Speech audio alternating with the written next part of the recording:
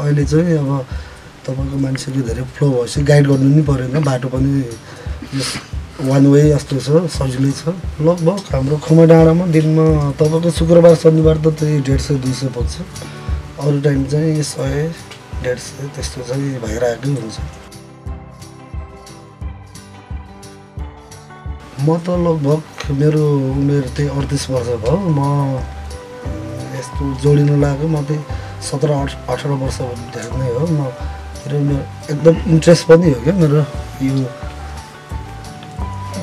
भनौँ न पर्यटनमा लाउने चाहिँ पहिल्यैदेखिको इन्ट्रेस्ट भएर नि होला। पहिला चाहिँ मैले क्याम्पिङहरू चलाइरहेको थिएँ।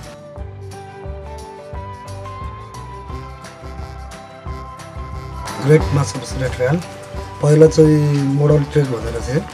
अहिले चाहिँ हामीले अब नामाकरण अलिकति चेन्ज गरेको हो।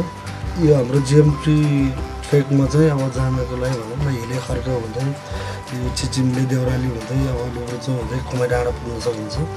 यो ट्रेक चाहिँ सर्ट ट्रेक पनि भन्छ मान्छेहरूले अहिले सर्ट ट्रेक भएर धेरै मान्छेहरू आइराख्नु भएको छ। अ, खुमाइ डाँडाकै अब भ्यू हेर्नको लागि अब धेरै मान्छेहरू एकै दिनमा पनि पुग्छ।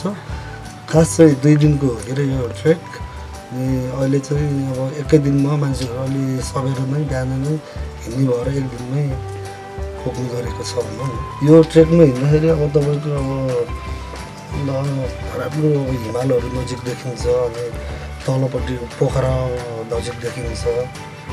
अब अलिकति अघिल्लो सिजनमा हामी पुरै बादल तल परेको भ्यूहरू देखिन्छ अनि सनसेट सनराइज एकदम राम्रो देखिन्छ। यस्तोहरूमा डाँफे मुन्डलहरू घोरलहरू अनि मृगहरू। यस्तोहरू देख्न सकिन्छ। यो दसैँको टाइमबाट चाहिँ एकदम भिड बढिरहेको छ भनौँ। अहिलेको दसैँको बाटो पोहोर साल चाहिँ खास त्यतिको थिएन अलिअलि फाटाफाटी आइरहेको थियो यो साल चाहिँ एकदमै भिड भयो। दृश्य चाहिँ एकदम राम्रो छ के अरे। त्यही कारणले नि होला अनि एउटा सर्ट ट्रेक पनि भयो। त्यो भएर नि होला। दसैँभन्दा अगाडि चाहिँ खासै हाम्रो भनौँ न बर्खा पनि समर सिजनमा अलिकति कम हुन्थ्यो। तपाईँको महिनामा यस्तो दुई चारवटा ग्रुपहरू यस्तो आइरहेको थियो। हामीले अब त्यही ग्रुपले यस्तो फलो गर्दै हामीले गाइड गर्नु गर्दै लाने स्थिति हुन्थ्यो कि त्यतिखेर। अहिले चाहिँ अब तपाईँको मान्छेले धेरै फ्लो भएपछि गाइड गर्नु नि परेन। बाटो पनि वान वे जस्तो छ सजिलै छ। यताउता हराउने बाटो चाहिँ छैन क्या। खुमै डाँडामा त तपाईँको पानीको एकदमै असुविधा छ। हामीले बोकेरै ल्याउने। बोकेर ल्याएर अब अहिले त हाम्रो पहिला यहाँ घोडा खचर थिएन। अहिले खचर ल्याएको कारणले खचरले बोक्छ। अनि अलिकति सहज भएको छ। अब भनौँ न अब यहाँ चाहिँ हाम्रो नेपाल सरकारले यस्तो पानीको सुविधा गरिदिनु गरिदिएमा हामी एकदम खुसी हुन्थ्यो। भनौँ न हामीलाई असुविधाबाट सुविधामा पुग्थ्यो होला। व्यवस्थितै गरेर भनौँ न होटेलहरूको सङ्ख्या धेरै नथप्ने यो अहिले एकिएफले त्यही भन्दो रहेछ कि तिनीहरूले एउटा होटेल गरेपछि बरु टेन राख रुमहरू धेरै नबनाऊ टेनमा राखेर गर।